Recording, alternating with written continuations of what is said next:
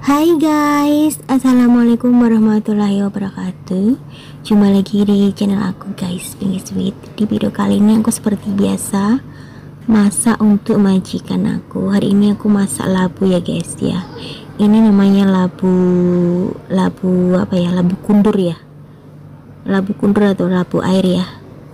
Kalau di sini tuh namanya citkwa Biasanya ini untuk dibikin sup. Tapi aku hari ini mau numis-numis ya guys ya.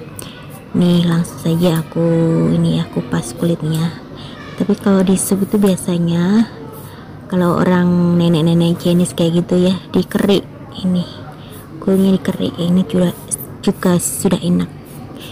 Oke guys sekarang aku kupas-kupas ini labunya semuanya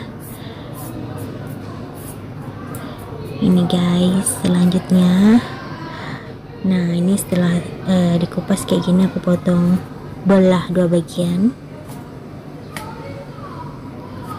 Ini nanti untuk majikan aku dia kan suka makan sayur-sayur nggak suka makan nasi ya guys. Jadi mulai lagi diet guys majikan aku yang cewek itu mulai diet. Nah kayak gini dibelah dipotong dua bagian seperti ini. Terus ininya dibuang ya guys ya ini dalamannya isinya ini dibuang. Nih tapi kalau untuk sup ya nggak usah dibuang semuanya bisa dimakan ya guys. Oke guys selanjutnya. Setelah semuanya isinya dibuang aku lanjutkan dengan dipotong. Hari ini potong panjang-panjang ya guys ya. Seperti ini biji korek kayak gini agak-agak besaran jadi semua dipotong kayak gini Hmm. Oke okay guys, sekarang aku akan lanjutkan motong dulu labunya ya. Guys, ini sudah selesai. Nah, kayak kayak gini guys ya. Nih, hari ini dipotong kayak gini.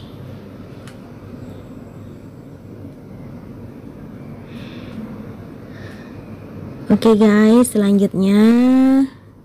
Nah ini selesai aku potong labunya panjang-panjang kayak gini ya agak kebesaran kayak gini. Terus ada ampela ya guys. Ini ampela ayam. Ini sudah aku rebus sampai empuk dan aku potong tipis-tipis dan ada ini usus juga aku bersihkan aku potong kayak gini. Ini untuk uh, tumis ya enak banget guys dan ada bumbunya seperti biasa kalau Chinese food itu seperti simpel nggak ada cabai-cabian ya guys ya. Ini ada bawang merahnya aku iris tipis-tipis bawangnya aku cincang seperti itu. Oke okay guys langsung saja mari kita masak ya guys. Ikutin terus ya. Guys selanjutnya aku siapkan minyak secukupnya. Setelah minyaknya panas aku masukkan bumbunya seperti biasa. Harus ditumis-tumis sampai wangi ya guys ya bawang putih yang sudah dicincang tadi sama bawang merahnya. Ditumis sampai wangi dulu sampai agak-agak matang kayak gitu. Terus langsung memasukkan ambelanya tadi bumbunya sudah mulai matang ya sekarang. Seperti biasa dioseng-oseng dulu. Tunggu dulu sampai ambelanya itu agak-agak setengah kuning-kuning agak matangan kayak gitu terus langsung dimasukkan labunya citkuanya dioseng-oseng. Juga seperti biasa ya guys bumbunya itu super gampang super simple aja yang ada di dapur. Tapi kalau ditambahin cabai juga bisa juga boleh. Nah ini ada saus tiram. Dikasih cukupnya saja. Selanjutnya aku kasih ini guys ya eh, penyedap rasa kaldu secukupnya. Terus tak kasih kecap teriyaki ya guys ya biar tambah sedap. Ini sedikit aja. Jadi aku tidak usah dikasih garam. Ini sudah cukup uh, asin karena majikanku itu tidak suka asin ya guys. Tapi kalau dibikin menu Indonesia itu bisa ditambahin cabai tambah sedap ya guys ya. Oke okay guys selanjutnya aku akan kasih ini guys uh, air nggak usah banyak-banyak sedikit aja. Terus ditutup. Ditutup ditunggu sampai empuk ya. Jangan terlalu empuk. Setengah empuk aja sudah enak. Kita tunggu dulu sampai setengah empuk. Dan guys selanjutnya ini sudah set ya.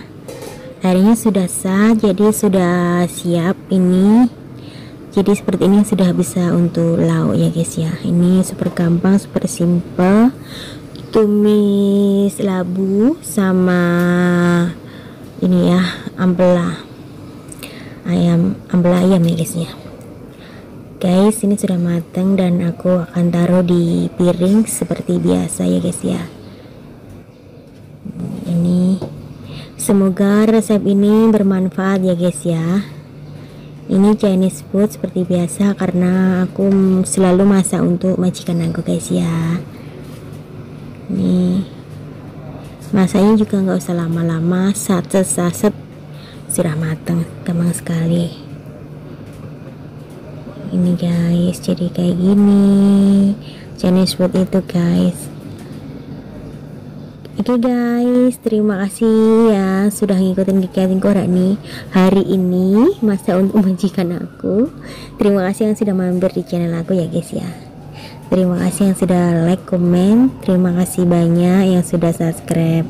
Semoga ini bermanfaat ya resep-resep super simpel ini bermanfaat. Oke okay guys, dan bersambung di video selanjutnya. Assalamualaikum. Bye bye.